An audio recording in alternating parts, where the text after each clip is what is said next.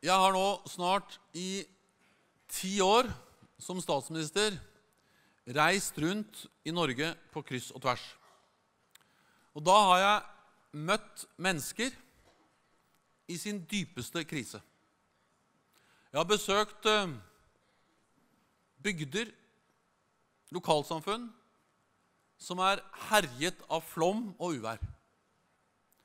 Jeg har truffet eldre som er fortvilet, og som ikke får den omsorgen de har krav på. Og jeg har møtt mange mennesker som sliter. Alle de møtene gjør dypt inntrykk på meg. Og de møtene minner meg om hvem vår bevegelse er til for.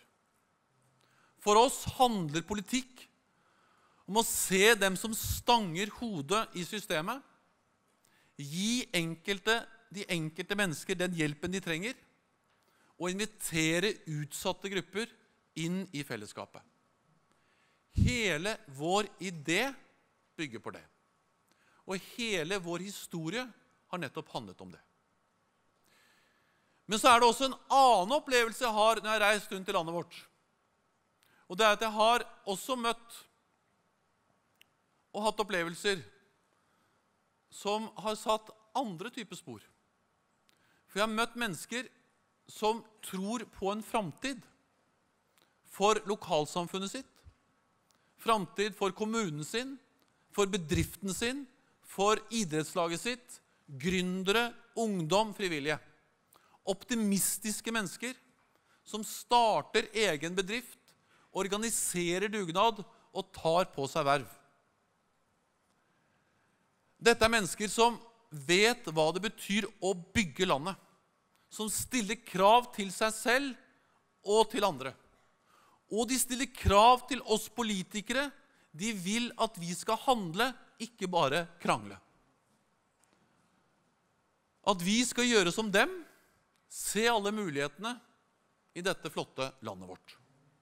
Og jeg er enig med dem. Og Derfor skal jeg dele et hjertesukk med dere. Jeg er så inderlig lei av Fremskrittspartiet og Høyres elendighetsbeskrivelse av Norge.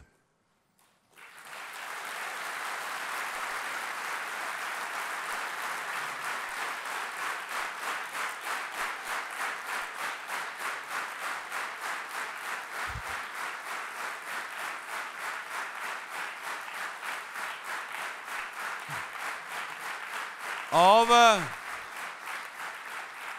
av, eh, av skolen, av helsevesenet og næringslivet. De klager over en norsk skole som de sier er i forfall. Jeg ser lærere og andre ansatte som bringer norske elever mot toppen. De roper og roper igjen om krise i norske sykehus. Jeg ser kompetent personell, helsearbeidere, sykepleiere, leger som gir oss et helsetilbud i verdensklasse. De sier at Norge taper kampen om framtidens jobber.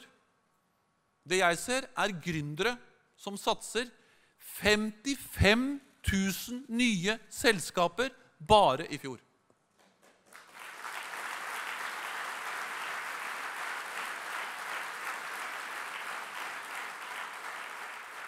Og så ser jeg en kø av mennesker som flytter til Norge fordi de har tro på Norge. For flytter jo normalt ikke dit det er krise. Og da spør jeg Hvor lenge må vi høre på at de snakker Norge ned? Landet vi er glad i, menneskene vi stoler på, alt det fine vi får til sammen. Vår vei er en annen. Vi vil snakke opp dem som bygger Norge.